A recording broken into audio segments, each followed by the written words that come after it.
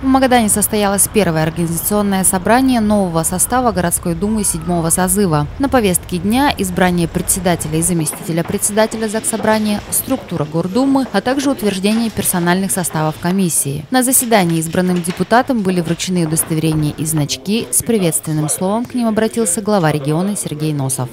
Уже сейчас можно начаться работу над бюджетом, бюджетом Магадана, потому что мы ждем эту работу Работа должна проводиться совместно с правительством Магаданской области.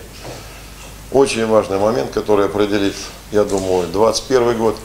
Ну и, а 2021 год это старт вашей рабочей пятилетки. Я думаю, она будет насыщенная, насыщенная событиями, если хотите, свершениями. Вместе, вместе мы так с вами и шли к этой победе. Вместе мы справимся. Я еще раз всех поздравляю с началом работы Работу Магаданская городская дума седьмого созыва начнет не только в обновленном составе, но и с некоторыми количественными изменениями. До 2020 года в состав ЗАГС Собрания избиралось 28 депутатов, из которых половина проходили по партийным спискам и 50% по одномандатным округам. Согласно изменениям, внесенным в указ Магадана, в этом году в состав Думы вошел 21 депутат-одномандатник. Абсолютным большинством голосов председателем городской думы седьмого созыва был избран Сергей Смирнов Магаданской городской думы оптимизирована. Мы соединили э, комиссии. Э, раньше у нас было 7 комиссий, сейчас будет 5 комиссий.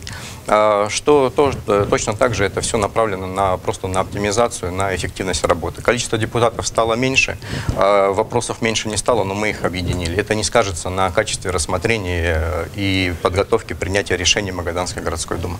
Ознакомиться с подробным содержанием протоколов окружных избирательных комиссий граждане смогут в ближайшем номере городской еженедельной газеты «Вечерний Магадан».